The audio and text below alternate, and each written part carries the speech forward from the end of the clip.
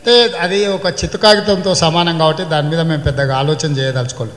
పది సంవత్సరాలు ముఖ్యమంత్రిగా పనిచేసి ఇరవై రెండు లక్షల డెబ్బై ఐదు వేల కోట్ల రూపాయల ఆదాయం వస్తేనే గతంలో ఇచ్చిన హామీలు అమలు చేయని చంద్రశేఖరరావు గారు కొత్త హామీలు ప్రజల్ని వంచడానికి మాత్రమే చేస్తున్నాడు తప్ప అమలు చేయడానికి కాదు.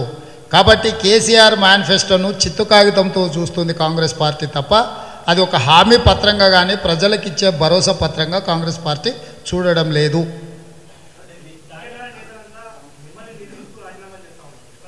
అధ్యక్షుడిని కాబట్టి మంచైనా చెడైనా నన్నే అంటారు. అన్నిటిని సమానంగా స్వీకరించాల్సిందే.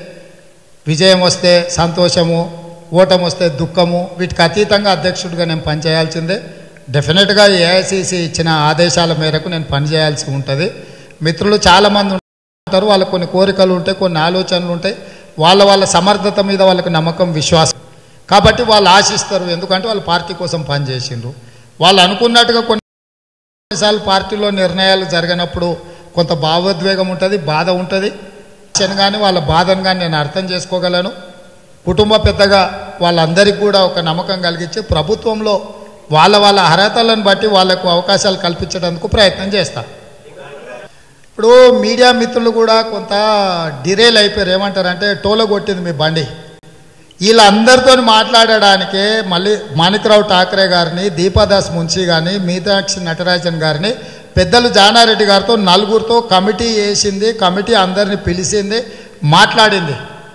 వాళ్ళందరితోని సంప్రదింపులు చేయడానికి వాళ్ళకి విశ్వాసాన్ని కల్పించడానికి అభ్యర్థుల ప్రకటన కంటే ముందే వారం రోజుల ముందే ఈ ప్రక్రియ చేపట్టినాం. అందరి నాయకులతోని పార్టీ మాట్లాడింది.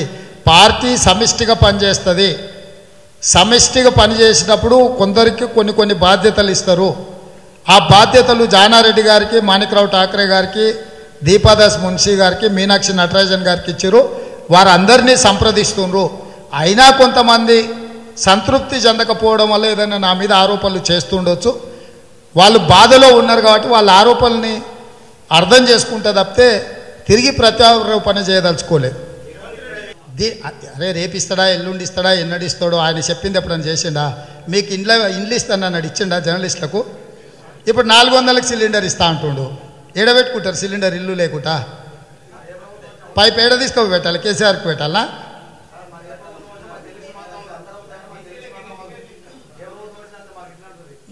ఇట్లా ఇట్లా మీరు మాటలు మాట్లాడతారు కాబట్టి మిమ్మల్ని చూస్తే జాలి కలుగుతుంది నాకు. మీకు ఇచ్చిన మూడు సొసైటీలు మేమే. ఇప్పుడు ఇచ్చిన సొసైటీ కూడా జవహర్లాల్ నెహ్రూ పేరు మీద ఉన్న సొసైటీ ఆ భూమి ఇచ్చింది మేము.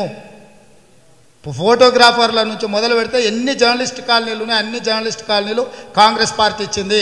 ఇవాళ మీ జర్నలిస్టులకు సొంత ఇండ్లు ఉన్నాయంటే అది కాంగ్రెస్ పార్టీ ఇచ్చింది. ప్రతి మండల స్థాయి జర్నలిస్టులకు కూడా మేము ఇళ్ళ పట్టాలు ఇచ్చినాం ఇండ్లు ఇచ్చినాము.